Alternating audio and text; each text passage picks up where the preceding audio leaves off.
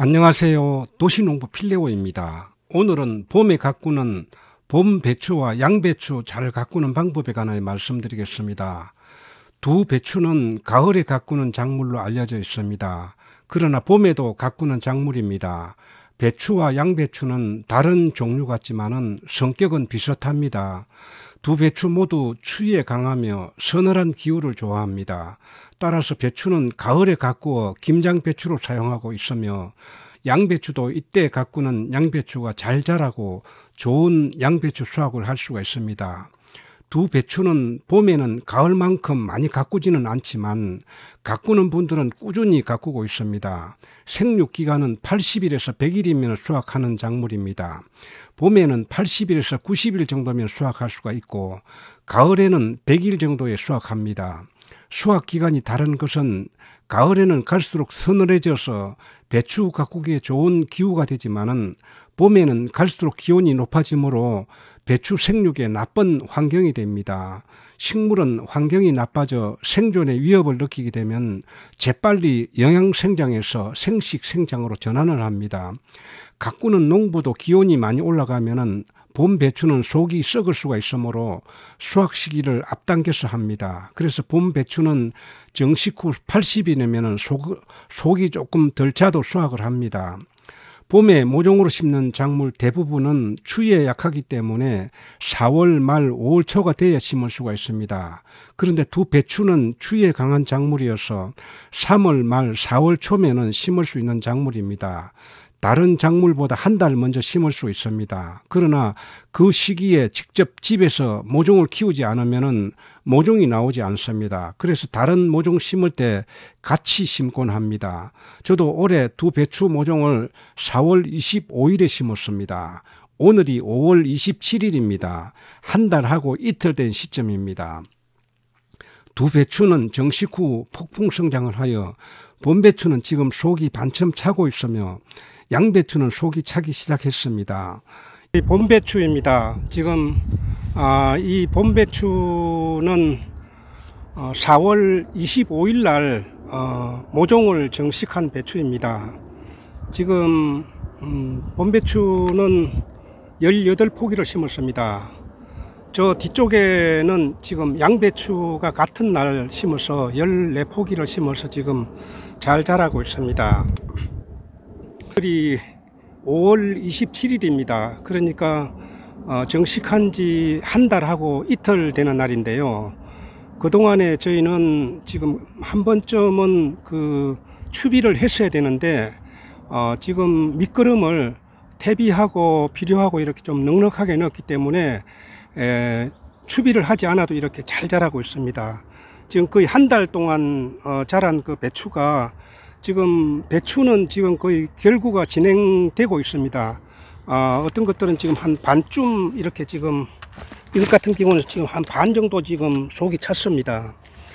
양배추는 엄청나게 지금 이렇게 그 잎이 많이 자라서 그 이제 결구가 시작되기 직전입니다.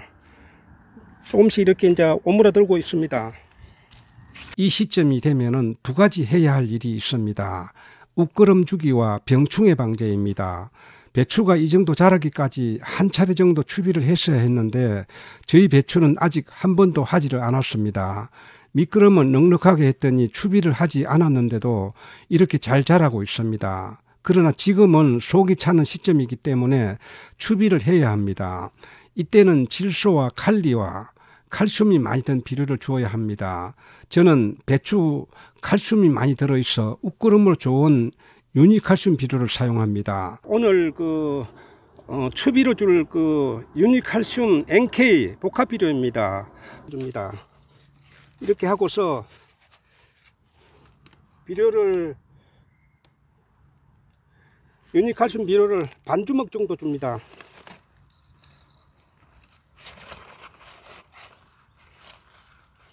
이렇게 넣고 난 다음에 줍니다.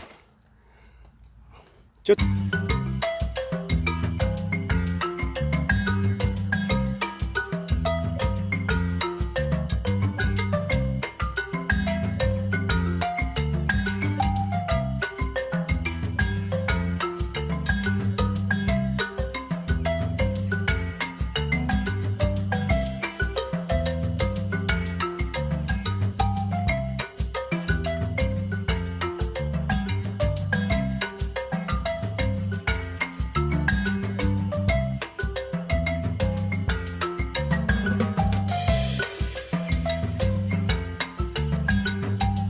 만약 이런 비료가 없다면 일반 복합 비료를 사용해도 괜찮습니다.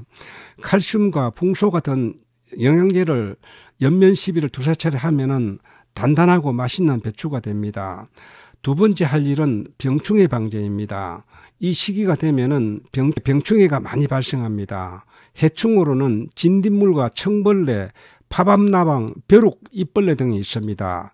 벼룩, 잎벌레는 초기에 많이 발생하며 청벌레나 파밤나방 등은 피해를 입힌다 하더라도 일부지만은 진딧물은 한번 발생하면은 순식간에 퍼져서 다지연 배추 농사를 망칠 수가 있습니다.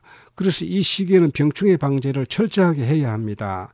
방제약은 일반 농약으로 해도 됩니다. 현재 우리나라 농약은 살포 후 일주일이면 약 성분이 분해되어 정발하기 때문에 안전하다고 합니다. 그러나 금방 먹을 채소 같은 경우에는 일반 농약으로 살포하는 것을 우려하는 분들이 있습니다.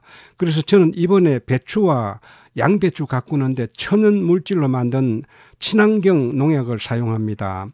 로얄 스위핑이라는 살충 살균제로 방제와 예방에 효과가 있는 제품입니다. 스위핑에 들어있는 고삼이라는 성분은 식물에서 추출한 천연 물질이라 곤충은 죽일 수가 있지만은 인체에 해가 되지는 않는 성분입니다. 스위핑에는 고삼 성분이 다량으로 들어있어 살충 효과가 아주 높습니다. 이틀 전 우리 밭에 가꾸는 아욱에게 진딧물이 잔뜩 끼어 있었습니다. 그래서 이 스위핑을 뿌렸더니 함께 공생하는 개미까지 죽는 것을 확인을 했습니다. 많습니다. 개미가 여기 지금 뭐하러 올라왔겠습니까? 바로 지금 이 진딧물을 진딧물이 꽉 엉겨 있습니다. 이 진딧 개미가 지금 이런 아욱뿐만 아니라 다른 채소에도 개미가 보이면은 거기 분명코 어, 진딧물이 있습니다. 개미는 이렇게 그 진딧물을 옮겨주고 어, 진딧물이 그 꽁무니에서 빼주는 단물을 빨아먹기 위해서 이렇게 서로 공생하는 그런 작물, 어, 곤충입니다. 그래서 어, 채소에 이런 개미가 보이면은 분명히 거기 진딧물이 있습니다. 로얄 어, 스위핑이라는 어, 친환경 어, 농약입니다. 여기에 지금 이 로얄 스위핑을 한번 어, 뿌려보도록 하겠습니다.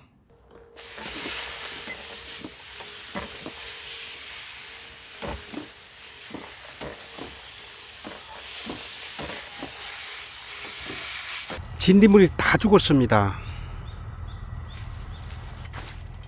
여기 개미 죽은 것도 있고요.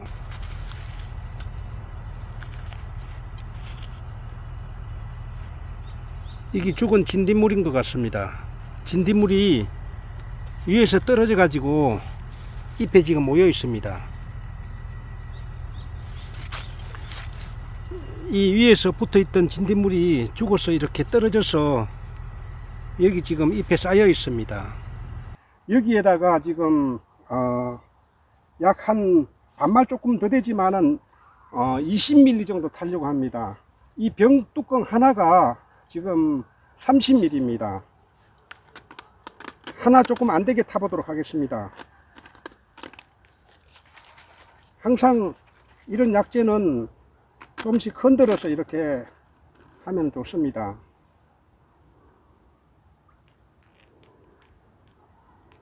하나 지금 좀 안되게 지금 탔습니다.